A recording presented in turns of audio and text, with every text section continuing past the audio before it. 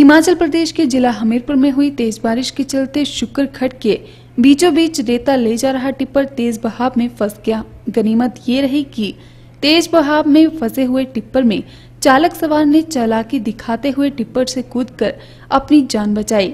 नहीं तो तेज बहाव के बीच जानी नुकसान भी हो सकता था। वहीं प्रत्यक्ष दर्शियों के अनुसार शुक्र खट से रेता ले जा रहा टिप्पर अचानक ही बारिश होने के बाद तेज बहाव के बीच में आ गया, जिस कारण टिप्पर बीच खड में फंस गया और निकल नहीं सका। हालाँकि इस दौरान चालक वहाँ से निकल गया। वहीं टिप्पर चालक ब्रह्मदास निवासी ताल ने बताया कि टिप्पर में रेता भरकर ले जा रहा था कि अचानक ही तेज पानी आ गया और टिप्पर बीच में फंस गया। उन्होंने बताया कि पानी करीब पाँच से छह फीट भर गया और टिप्पर भर गया।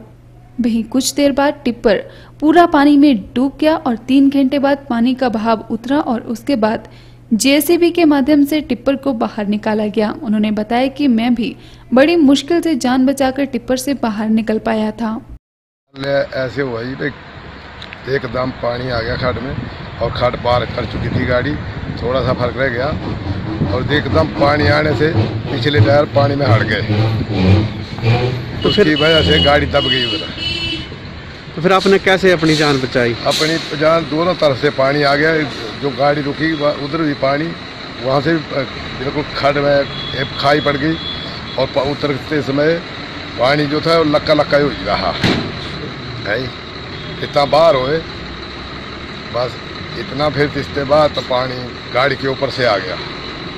पानी तो फिर कैसे निकाली बाद में गाड़ी? बाद में तीन घंटे के बाद पानी उतरा।